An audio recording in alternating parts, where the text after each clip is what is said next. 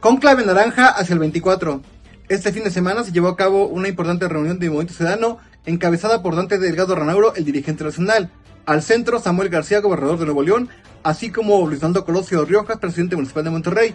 Y claro, los liderazgos de Jalisco encabezados por Enrique Alfaro Ramírez, el gobernador, Vero Delgadillo, la senadora de la República, y Pablo Lemus, el presidente municipal de Guadalajara se están poniendo de acuerdo hacia el 2024 los criterios que tomarán en cuenta para la participación y realmente si Colosio o Samuel García aceptan ser el candidato presidencial hacia la elección presidencial del 2024. En cuanto a Jalisco, una de las dos entidades que gobiernan a nivel nacional se están poniendo de acuerdo cuál sería el criterio para definir el candidato o candidata, ya que Pedro Delgadillo es una opción, pero también está Pablo Lemus, quien es eh, presidente municipal de Guadalajara, y hay quien considera a Clemente Castañeda, quien es el coordinador de los senadores de Movimiento Ciudadano.